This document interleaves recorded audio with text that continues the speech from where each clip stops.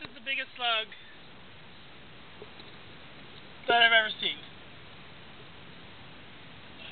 This slug is about like